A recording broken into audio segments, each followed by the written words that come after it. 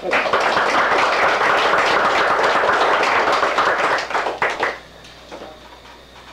find it somewhat difficult uh, on all of these uh, Memorial Days uh, to, to speak because I served in the service myself and, uh, and I really I know what it is. This past April I was awarded by the Department of Veterans Affairs uh, certificate for voluntary service and they gave me credit for 11,305 hours and 11 years of service. So, this was uh, given by the Department of Veterans Affairs and of course signed by the director of uh, Hines Hospital there in Chicago, Dr. John Cummings. And of course, Excuse me.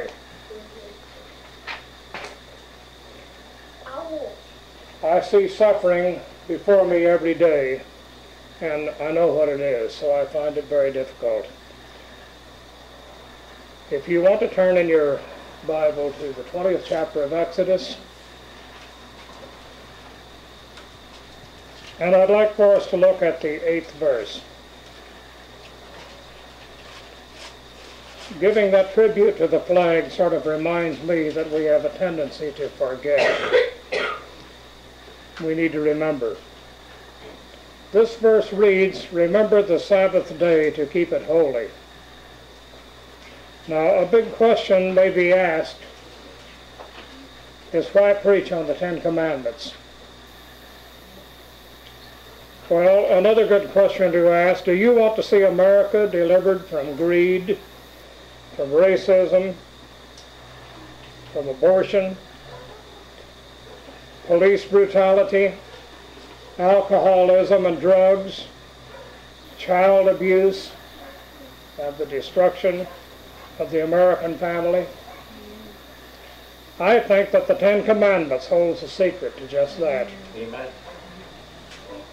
Another good question, are you tired of seeing this nation swim in a secular uh, humanist uh, sewer controlled by politicians, by the media, by the ACLU, by so-called spiritual leaders who are nothing more than pigs in a parlor, claiming to be spiritual leaders, are actually practicing paganism and rejecting the gospel of the Lord Jesus Christ. The Ten Commandments and the Word of God I think is God's penicillin Amen. for secular humanism.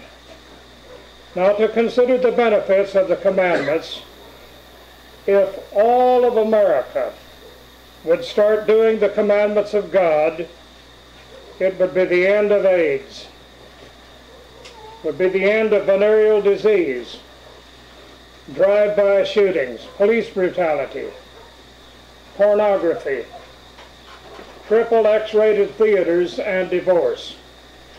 It would be the end of a national crime explosion. It would be the end of short time prison terms and early releases of rapists and murderers, drug pushers and peddlers to kill again, to rape again, to peddle drugs again. The commandments of God's Word hold the secret to just this. And time is running out. It's been a couple of thousand years since Christ was here. Time is running out. He is coming again. And if Christians do not rise up and stand up and speak out in these days in which we live, then you are watching a nation die before your very eyes. I believe that we can do all things through Christ who gives us the strength. We, the people of the Lord, can take this nation back to the God of Abraham and Isaac and Jacob. God called us to occupy till he returns, and that simply means to continue doing what I have started, witnessing and telling of his love for all. We can take this nation back to God one day at a time, one person at a time, one home at a time. I believe this morning that we can do it. And I trust that today we will begin to realize that the only way that we can be spiritually and physically well is to honor God's Word. Remember the Sabbath day to keep it holy. Remembering the Sabbath day to keep it holy tells me two things. It tells me that in the beginning that God made it a holy day. And it also tells me and it informs me that God knows that man is very forgetful. We are forgetful. You've heard of the Chinaman who boasts about his good memory. He added, but my forgetting ability is even better yet. Three old ladies having a tea party. And one of them said, I'm getting so forgetful, I go to the refrigerator. And said, I open the door and I stand there and wonder, did I come to bring food or did I come to take food? The other one said, I'm getting so forgetful I stand at the, at the, at the stairway and said, I don't know if I just came down or if I'm going up.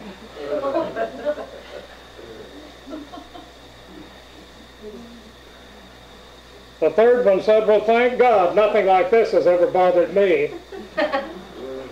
And she reached over and she knocked on wood and said, would one of you please see who is at the door? Thanks, God. Israel certainly forgot God. Going back in their history, they forgot that the death angel spared the children of Israel. They forgot that God divided the Red Sea and that they crossed on dry land. And they forgot how they rejoiced when they were looking over the Red Sea when the waters closed in and the Egyptian army was being destroyed. They forgot how God, how God guided them by a, a cloud of smoke by the day and a pillar of fire during the night. Soon they forgot how God sent plagues upon Egypt, turned the water into blood.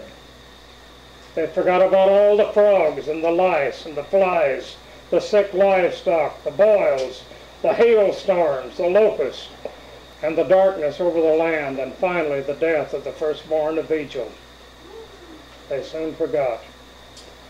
Soon they forgot how God provided for them.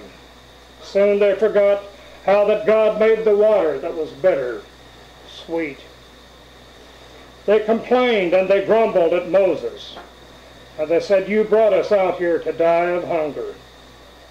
Soon they forgot how God rained down from heaven manna in the morning and how quickly they forgot how God gave them food and water protection and protection in their travels. They said to Aaron, Make us gods that will go before us. Said Moses, the pinhead, who led us out here to starve to death in the wilderness, said he's forsaken us. And all in the world Moses had done had gone up into the mountains and he was praying and waiting before God to perform another miracle.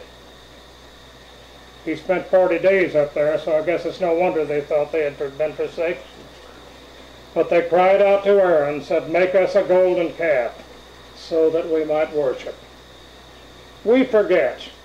It's so easy for us to forget. We're sick. The pastor anoints us with oil. He prays over us. God heals us. Then we show our appreciation on Sunday morning by going to the ballpark or maybe even going fishing. Well, you can't go fishing when you're sick. So we lose our job, we lose our business. It's failing. We can't make ends meet. How do we pay our rent? Time for another car payment. House payment is due. We have no money. The interest just eats us up. We just have to meet these obligations or else. So what on earth are we going to do? Try God. He's a good source. So we call upon God. We lay, he lays it upon Jesus, who supplies all of our need. Someone lends a helping hand. We make a lot of promises to pay back. And out of the goodness of our hearts, we promptly forget. And we go on our merry way. Remember, remember that you would be a homeless street person this morning had not someone had sympathy and mercy. We come to the house of God with our lives twisted by sin, on the verge of divorce, suffering from alcoholism, from drugs, living in deep depression. God has mercy upon us, and He recreates our lives, and He sets the joy bells of heaven ringing within we show our appreciation on the Lord's Day with a cigar in one hand and a beer can in the other can, hand and a TV show in front of our eyes. And we say that this is my day to rest. It's my day to wash the car. I must trim the bushes. I have to cut the grass. Well, I want you to know that this is not your day. This day belongs to the Lord. The Lord made it in the beginning, and don't you ever forget it. Hebrews 10 and 25. It reads like this, Not forsaking the assembling of ourselves together, as the manner of some is, and so much the more as we see the day approaching. Two thousand years have gone by. The Lord said, I'm coming again. I believe this morning that his coming is nearer than that day. Amen. He could come this day. Remember the Sabbath day to keep it holy. In Deuteronomy, the fifth chapter and verse 12, it said to keep the day, the Sabbath day, to sanctify it, as the Lord thy God hath commanded thee. This is not something that preachers bark about all the time. This is a commandment of the Almighty God. And when we stand before God in the judgment day, we have to give an account of what we have done with the Lord Jesus Christ and the commandments that he has given. If we love the Lord, we're going to keep his commandments. So remember and keep it in mind. Don't forget, if you don't have enough victory in your soul to come to God's house on the Sabbath day, it's a sense you'll not have enough victory to go to God's house on Resurrection Day. Now I know that uh, you have a photographic memory. You just simply forget to put film in the camera. There's really only one way that I know of to remember your wife's birthday. Forget it just one time. We forget our names. I said that coming over in the car. Forget our names? I said, of course. How many of you have ever written a check and you had to look up into the corner to see what name to write down at the bottom? It's so easy. We forget our friends' faces. Someone walks up and he greets us. He shakes our head. Do you remember me? And you will stand there just exactly like you saw him yesterday. And when he's gone, I've seen that person someplace. Who in the world is that person? We forget. We even forget our wedding vows. One man was telling a friend, he said, I just walked out on my wife. Is that right? How did she take it? Said, well, it's a funny thing. We've been together all these years. And said, I've always known that she could scream to the high heaven. But he said, I never dreamed that she could do cartwheels at the same time. we forget the difference between right and wrong. Teenager was complaining about his mother.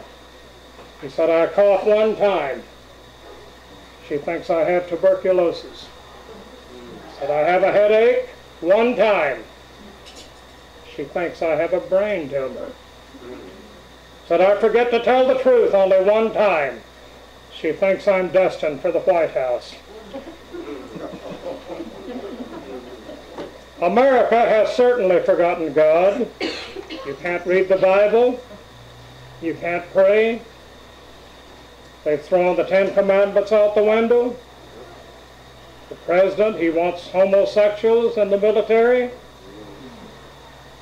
Homosexual fema feminist to run the highest offices in the land. It's unlawful to pray, unlawful to read the Bible. America has forgotten God. Our people would rather go to the ballpark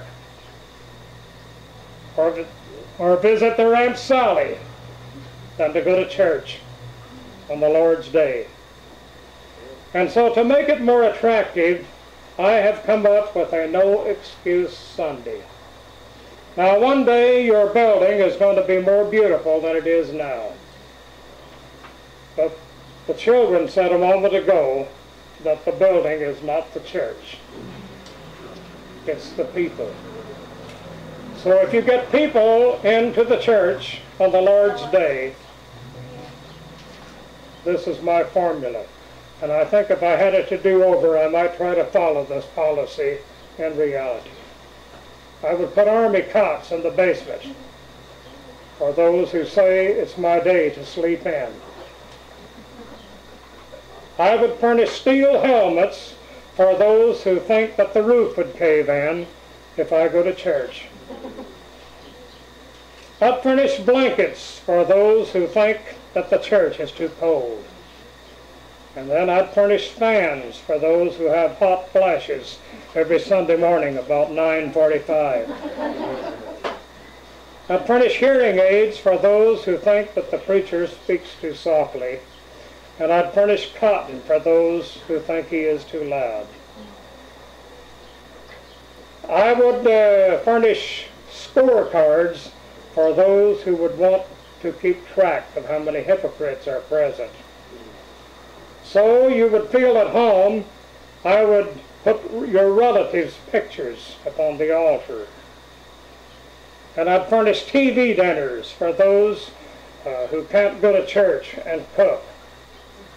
And in one part of the sanctuary, it would be devoted to trees and grass for those who see God only in nature. And then finally, I would decorate the entire church with Christmas poinsettias and Easter lilies for those who have never seen the church in any other fashion.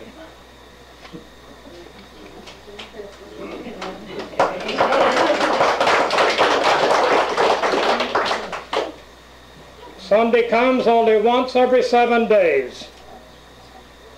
And what is it that we are to remember about the Sabbath? The Lord said, remember the Sabbath to keep it holy. You might remember that you were not made for the Sabbath, but that the Sabbath was made for you.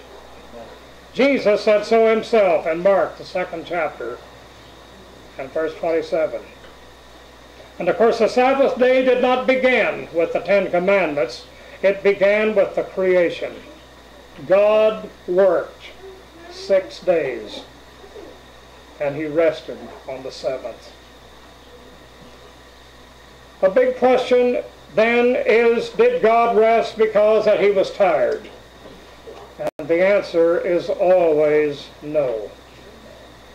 Our God never grows weary. You may call upon him in the morning, in the noon, and in the night. He is always present and always there. God, he rested as a divine example for all humanity. And the example is this, that our minds and our bodies, they need rest. This is ordered by God and supernatural strength it comes from supernatural rest. Isaiah, rather I should say Psalms, the 62nd chapter, it says that God has spoken once, twice have I heard this, that power belongs to God. I happen to know that it's a medical fact that you may sleep and not get rest. Many nights I've slept very soundly, but I've come to life in the morning even tireder than I was when I lay down at night. Rest comes from God and not from pills, not from medication, not from cheap booze, from drugs, but rest comes from God. Isaiah, the 47th chapter, and verse 29 said, He giveth power to the faint. They who have no might, He increaseth their strength. They that wait upon the Lord shall renew their strength. They shall mount up with wings as eagles. They shall run and not be weary. They shall walk and not faint. When thou passest through the water, I will be with thee. That's the comforting thought this morning. I will be with you way, even to the end of the world. I said, Through the rivers, they shall not overflow thee. When thou walkest through the fire, thou shalt not be burned, neither shall the flame kindle upon thee. David said, I was glad when they said unto me, Let us go unto the house of the Lord. It is in the house of the Lord that we are charged up with superpower of the Holy Ghost, and then you are able to run through a troop, and you can leap over a wall. So let's go to church. Let's go to the house of God on the Lord's day, and let's get super powered up and let God rise and let his enemy be destroyed. Amen. Let us, in other words, take a stand for our God. Amen. Let the world know whose side that we are on. Amen. A child of God who is charged up with the power of God reminds me of that little pink rabbit, you know, that you see on your television screen. When all of the others have fallen over, still going, still going, still going. And let me say that God's power is better than all of the health spas that they have in Texas. It's even better than Hot Springs, Arkansas. And I'm here to inform you that God's power is better than Mayo Clinic. Our God can do anything. Amen and we can do all things through Christ who gives us strength. And so the day that the people enter the door of the house of the Lord, and they go to the altar of God, and they confess their ungodly sins to God, and turn from their wicked and their ungodly ways, it's the day of their deliverance. Amen. This is the day that hearts are mended that have been broken. It's the day that alcoholics are set free. It's the day that drug addicts are set free. It's the day that marriages are restored. It's the day that torn apart families come together once again. It's the day that the angels rejoice in the glory world. For whomsoever the Son shall set free shall be free indeed. Matthew 11:28, Jesus himself, he said, Come unto me, all ye that labor and are heavy laden. And he said, I will give you rest. Take my yoke upon you and learn of me. I am meek and lowly in heart, and ye shall find rest unto your souls. And this is what we need, the soul rest.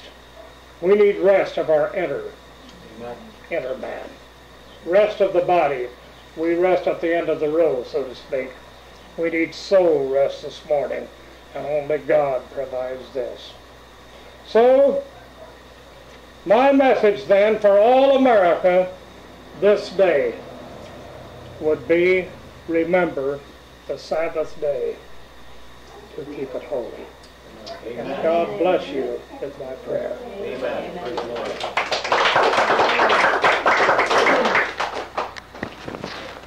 Thank you, Brother West. We appreciate that so much.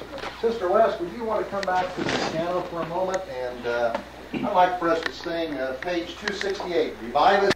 Thine eyesight, Lord, that we might